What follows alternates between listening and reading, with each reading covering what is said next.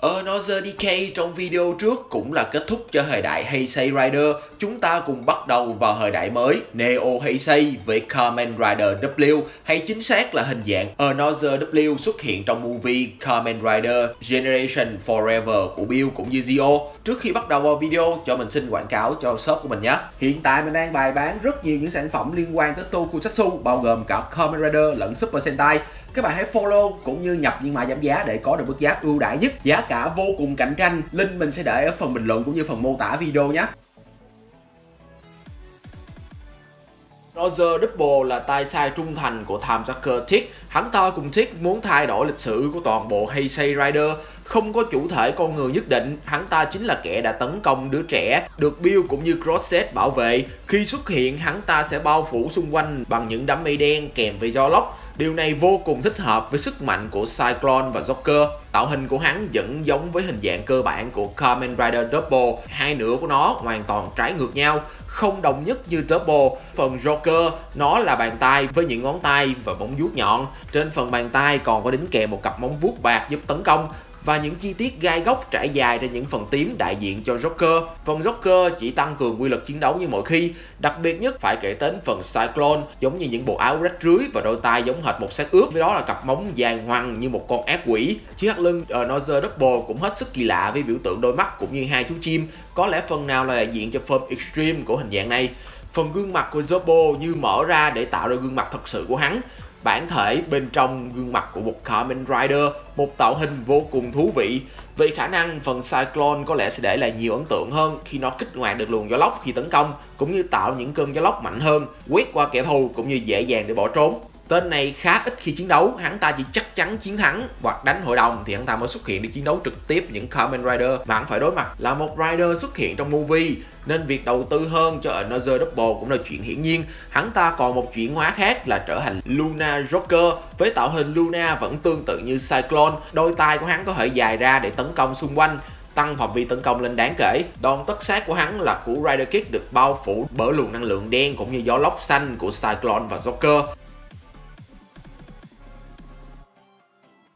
Sẽ ra sao nếu phản diện Dan Kuruto trong series Essay không trở thành Kamen Rider Game cũng như tạo ra trò chơi Rider Chronicle mà chính thức trừ khử cha mình để trở thành vua. Đó là câu chuyện kể về Another O. Sự thay đổi về dòng thời gian này bị can thiệp bởi Time Zucker Ura. Hắn ta đã hoàn toàn thay đổi cuộc sống của Dan Kuruto bằng việc trao cho anh ta chiếc quách của Kamen Rider O vào năm 2010. Nắm giữ nguồn sức mạnh này, hắn ta đã thành lập Foundation sinh vào năm 2016 sau khi ra tay tàn nhẫn với cha mình và đứng đầu cả tập đoàn. Đối với Dan Kuroto, chỉ một tập đoàn lớn là không đủ với hắn, hắn muốn thống trị tất cả từ Nhật Bản cho đến cả thế giới. Năm 2018 khi sự kiện của Zio đang diễn ra, hắn ta đã tuyên bố với toàn bộ hoàng gia tại Nhật Bản đe dọa họ và muốn thay thế họ ở vị trí nhà vua. Tất cả những người dân tụ họp trước cung điện của hắn. Điều tưởng đây chỉ là lời nói ngoan đường của một kẻ đang ảo tưởng sức mạnh, nhưng không với quyền năng của Another O và từ những creep cao cấp hắn có thể thao túng những đồng xu, những xe medo mà không cần chuyển hóa thành ở Nozo cấy ghép vào họ biến họ trở thành những zombie vô tri, những kẻ sẵn sàng phục vụ cho hắn dù hắn muốn gì đi chăng nữa. Thông tin về kẻ muốn trở thành vua đã lan truyền trên toàn bộ Nhật Bản và đến tai của Zio. Cuộc gặp gỡ của Gay cũng như Zio để ngăn chặn tên vua điên loạn này, họ đã chạm trán với Another O của Dan Kuruto. Sức mạnh được trao từ Time Sucker Ura. Tạo hình của Another O cũng giống như O kết hợp với Grip. Thay vì tạo hình Rider đơn giản, nó như một quái nhân được kết hợp giữa người và thú với những bộ phận lông trắng được bọc ra ở phần tai và cổ. Cơ thể cũng được tụ hợp từ ba loài động vật. Chim ưng ở bên trên, đôi tai của hổ, và đôi chân của châu chấu với những sự gai góc cũng như những chi tiết hoa văn kỳ lạ trên cơ thể của hắn. Phần mặt đồng xu của ô cũng được đan lại bằng bốn sợi dây, nhìn giống như biểu tượng nguy hiệu trên áo của những chiến binh cổ đại. Phần cánh của Taka ngoài việc tạo ra phần mặt của Rider còn tạo hình lên hai phần tóc nhỏ của hắn. Đôi cánh này cũng kết hợp với năng lực của Nozuo một cách hoàn hảo.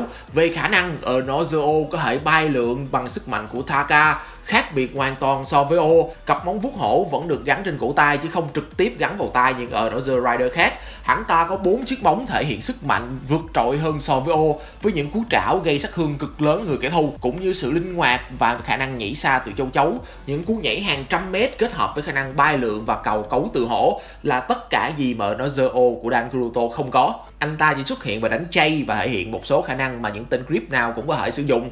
Đó là sử dụng những Semudo biến tất cả những người xung quanh thành thuộc hạ của mình, điều khiển đội quân zombie ghẻ này để tấn công kẻ thù. Ngoài ra, hắn chẳng làm gì khác.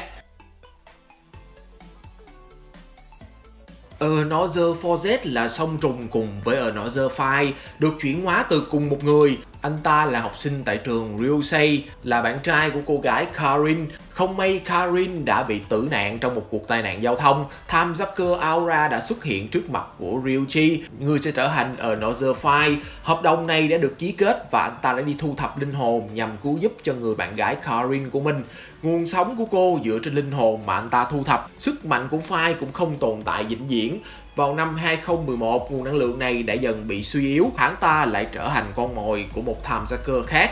Time Zucker Swap đã cho hắn ta một sự lựa chọn trở thành Another 4Z để ghi đè lên sự tồn tại của Kamen Rider 4Z chấp nhận ngay lời đề nghị này và không có bất kỳ sự do dự nào giống như lần hắn trở thành Another 5, chuyển hóa thành Another 4Z và tiếp tục công việc thu thập linh hồn.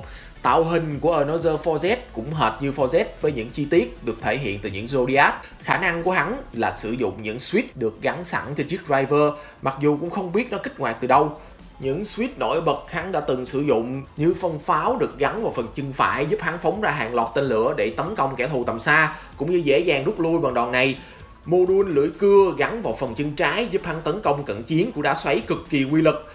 Phần chuỗi dây xích tăng cao tầm đánh, dán cực mạnh vào người kẻ thù, xả hàng loạt phát đạn đại liên khiến cho kẻ thù không thể nào tấn công hắn. Đòn này cũng sử dụng để rút lui cực kỳ hiệu quả và nổi bật nhất của Kamen Rider 4Z không thể nào quên được Rocket On. Đây cũng là đòn chủ lực của hắn dùng để tấn công kẻ thù. Phần động cơ tên lửa nâng cao sức mạnh đòn đánh cũng như tăng đáng kể khả năng di chuyển và như bao ở Nozer Rider khác, hắn vẫn có thể hồi sinh nếu không bị đánh bại bởi chiếc quách tương ứng.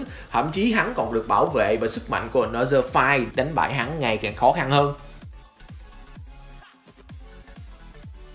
Nhà hát với một ảo thuật gia đang cố gắng biểu diễn những màn ảo thuật nhàm chán của mình. Trước một cặp đôi đang ngần ngại với nhau, họ thậm chí còn chẳng quan tâm tới màn ảo thuật đang diễn ra. Sự nhiệt huyết trên mặt của ảo thuật gia đã dần đi tới hồi chán nản, nhưng người phụ tá cho anh, người đã chuẩn bị tất cả cho màn ảo thuật này, lại vô cùng cố gắng. Anh ta hy vọng có thể cứu lại nhà hát nơi anh ta đã từng gắn bó và tình yêu dành cho cô chủ. Được tham Zucker Ura đưa cho lời đề nghị trở thành Another Wizard để trở thành ảo thuật gia cứu giúp lại gánh hát đang dần phá sản của cô chủ. Anh ta đã chấp nhận ngay điều ước này. Sử dụng phép thuật mà không cần chuyển hóa thành Another Rider, anh ta cũng không phủ nhận đó là những trò tiểu xảo mà khẳng định đây là phép thuật điều khiển lửa cũng như thao túng những vật thể xung quanh, tạo ra những màn ảo thuật cực kỳ điêu luyện, nhưng đó vẫn không thể nào che giấu tính cách vô cùng nhút nhát của mình. Anh ấy đã chạm trán với Gay cũng như Zio và có một cuộc chiến với họ.